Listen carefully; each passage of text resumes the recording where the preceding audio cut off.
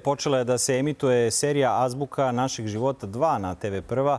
Junake serije zatičemo devet meseci kasnije u odnosu na završetak prve sezone. Šta je zapravo potrebno za sreću i koja doza ljubavi je neophodna da bismo se osetili voljenim? To su pitanja na koja likovi u seriji traže odgovore. Da li su ih pronašli? Gošće 150 minuta su glumci Miona Marković i Đorđe Mišina. Dobar dan i dobrodošli u 150 minuta.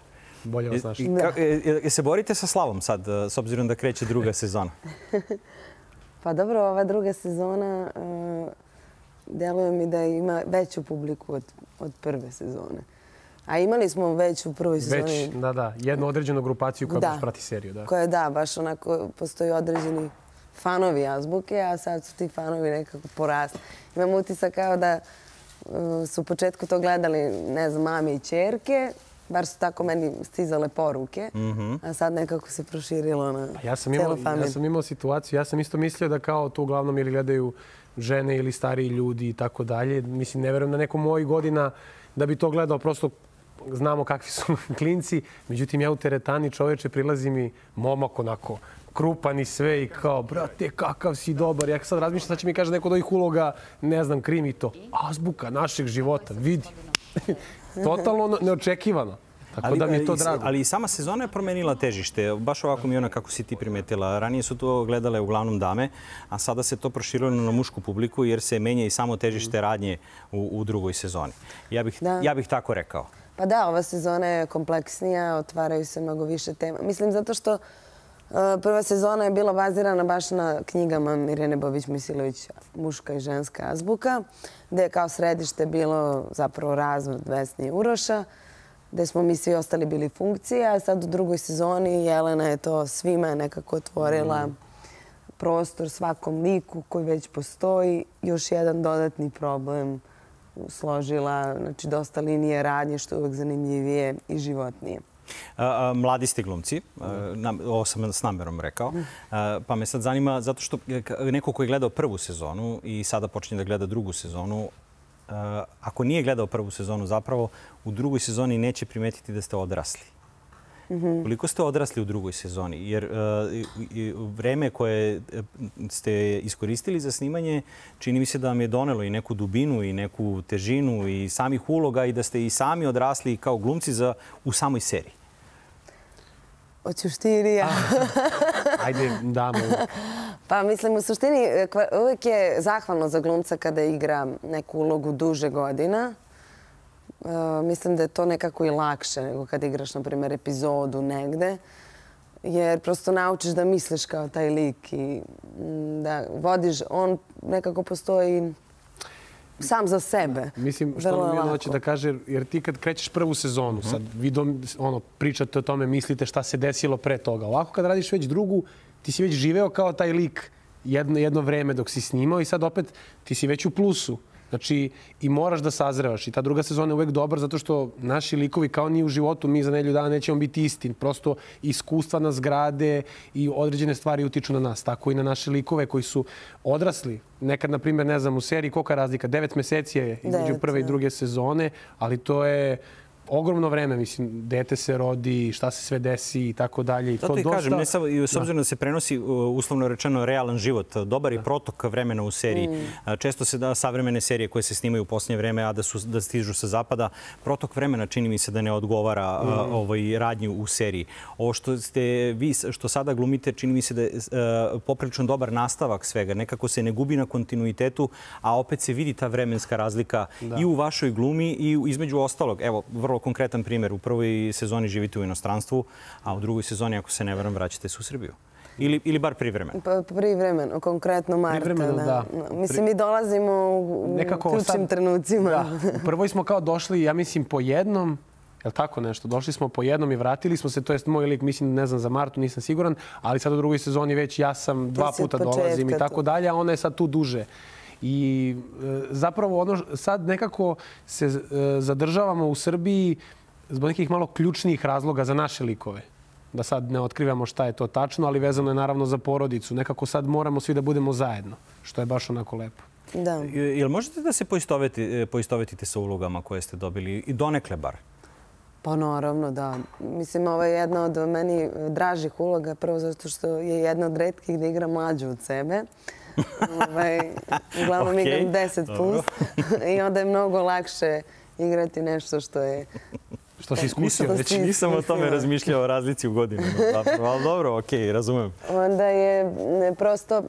Ma i sam je, mislim, tim takav da mi se zaista osjećamo kao neka porodica na setu i, i ta ekipna strana koja je iza kamere, Da, nekako ima kontrastudio, ima tu gaji tu porodičnu Te atmosferu.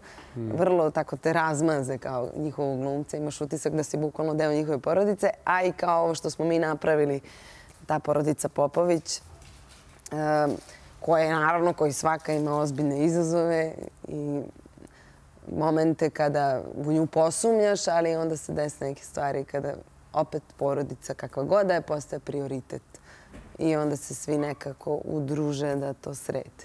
Đorđe, tebe, tebe bih pohvalio. Ja sam igrom slučaja ovaj, znam e, Da. razvoj situacije u drugoj sezoni. Nećemo do kraja da otkrivamo zapravo šta je, ali e, odigrao si fenomenalnu ulogu. O, e, tiče se e, seksualnosti Da. tvog lika u seriji.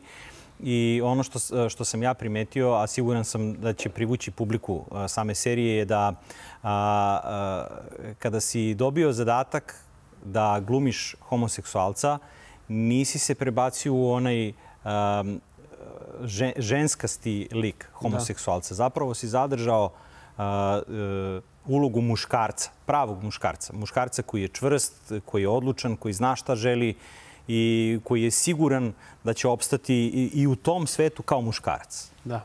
Pa ja, ja kažem, više puta kad smo pričali na tu temu, meni je stvarno drago što je to jedan od mojih prvih uloga. Jer onda imam osjećaj, ako sam bar jednu razliku napravio da celo naše glumište, naš zanat malo promeni pogled na to kako se određene uloge rade, onda super. Kao, baš sam nešto lepo uradio jer smatram da, kao, rekao sam sto puta, kako se igra seksualnost. Ne, ja nemam odgovor na to, mislim da ni ne postoji. Prosto sve ostalo je karikiranje. Mi možemo samo, ja sam uglavnom to što je Luka homoseksualac, u njegovom liku gradio samo kakav je njegov odnos prema tome i njegove porodice na to i kako to utiče na njega.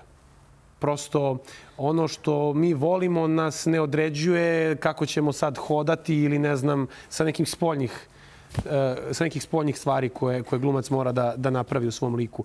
Tako da ja smatram da e, Luka i kao stariji brat i kao prvo dete i stvari koje proživi, da je zbog toga muškarac i da je zbog toga otišao da živi u Španiju, jako mlad, posle ono, otprilike tako studiranja, kad je izvršio studije, otišao je tamo i to, to je prava stvar. Da ti pokažeš da smo mi svi živi ljudi. A sad sve ostalo su sitnice neke koje nas određuju na mnogo nekih različitih nijansi nego što mi to vidimo na TV-u uglavnom.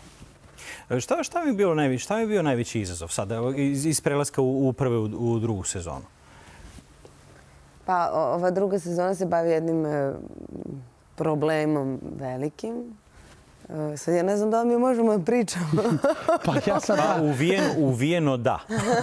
Odmah da vam Uvijeno, kažem. samo da. da. Ali e, bilo je jako bitno da se to nekako suptilno donese taj problem, da ne bude onako prstom u oko i kako likovi, kako koji lik za sebe reaguje i kako vidi sam taj problem i da li ga uopšte uočava, da li konkretno Marta, e, ona je jedna od prvih koja to primećuje osjeti kod majke. jer je to intuitivna neka veza s majkom i ovaj, i meni je konkretno bila najteže da ti neki razgovori koji smo mi snimali ja i Aleksandra koji su prepuni emocija, a nisam, plašila sam se da ja sam čak imala uh, uh, potpunu averziju te scene uh, pre nego što smo je snimali. Ja sam htela da izbacim pola replika, jer mi je to tako zvučalo patetično i nemoguće za izgovoriti. Ali onda kada izgovoriš takve stvari u emotivnom naboju, zapravo shvatiš koliko su one teške to je ono kao izvini, hvala, volim te. To su stvari koje najteže govorimo, pogotovo roditeljima. I zato kao izbegavamo i čak sam ja prirodno htela da izbegnem te rečenice, ali ima Jelena nagovorila da, da ovaj, ostanem pri tekstu. I to je bila jedna od meni najlepših scena u mojoj karijeri, tako da ali to je I ima nama, vremena i do nama. I mislim, samo evo, ja bih volao stvarno, to sam je rekao i malo pre, pošto se nismo videli, meni je to lično jedna od najboljih scena u seriji, jer uh, toliko, generalno sad, me- evo sad da se nadovežem i za taj izazov, meni i nama oboma, mislim da prvi put zapravo sam ja igrao nešto i bavio se time da nas dvoje u situaciji, znači otvorena, e, pričalo se već, znači u seriji se pojavljuje to partnersko zlostavljanje i tako dalje. I naši roditelji, pogotovo majka, prolaze kroz jedan jako težak period. I zapravo tu se sad malo menjaju uloge. Sada deca postaju roditelji. Da. Što je interesantno, jer ja stalno govorim, roditelji su isto deca koji su dobili deca, samo što mi onda ono, to ne shvatamo. Moramo nekada da razumemo roditelje, da su oni nekada u problemu, da razmišljaju i treba im pomoći. I mi tu nekako sada prebacujemo tu rampu i naši likovi na potpuno drugačiji način se bore sa tim problemom. E, e, naziv, sam naziv serije je e, potpuno logičan i ispravan. Da. U skladu je sa svim ovim što ste sada izgovorili. Azbuka našeg života. Zapravo opisujete jednu porodicu koja prolazi kroz razne izazove i ide kao po azbučnom redu. Problemi su tako naslagani. Vi iz toga da li ćete isplivati ili ne, ostavit ćemo našim gledalcima da gledamo. Još jedan put ću reći, mladi ste glumci, izuzetno dobro ste odradili svoj posao. Na stranu veličina imena koje glume sa vama, odlično ste se snašli. Ako neko može da prognozira, ja vam prognoziram blistavu budućnost i karijeru u filmskoj i u, pozorišnoj, a, u, u pozorišnom segmentu, s obzirom da znam da glumite i u pozorištima. Hvala vam najlepše na gostovanju 150 minuta. A, Pozvaćemo vas nekom narednom prilikom kada se malo zahukta serije, da, da onda možemo da uhvatimo priključak da mi ona ne postavlja pitanje da li ja sad to smem da ispričam? ne smem. Ali Do hvala vam, na vremenu koje ste, hvala vam na vremenu koje ste izdvojili. Hvala E, vam. U svakom slučaju, nemojte da propustite Azbuku naših života, drugu sezonu. Siguran sam da ćete se, ako se već niste zaljubili u prvoj sezoni, zaljubit ćete se u radnju a, druge sezone ove serije.